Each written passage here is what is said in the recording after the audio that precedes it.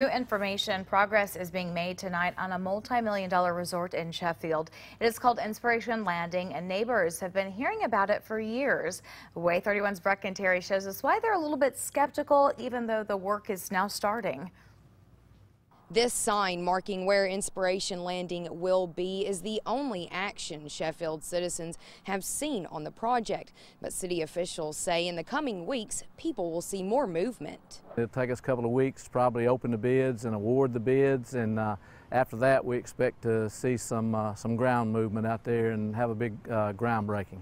Sheffield City Councilman Ronnie Wicks said the city is using a $4.5 million federal grant to lay the foundation for a resort called Inspiration Landing. The roadway down close to where the bridge is going to go and uh, the water and wastewater utility infrastructure, will, what, that, what they'll be bidding on.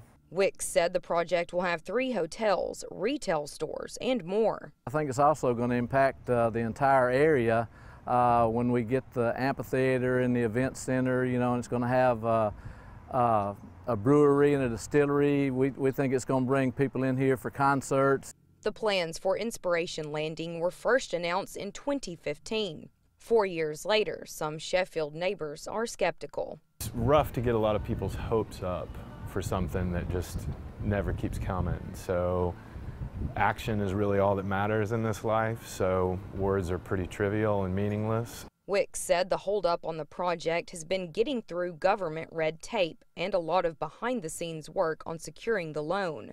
Kevin Robinson said he hopes the project does happen because it would have an economic impact on the area. But he's not holding his breath.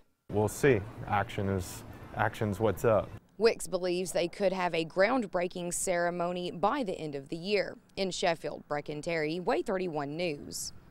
The project will be split up into two phases. The first phase includes a marina and residential housing. One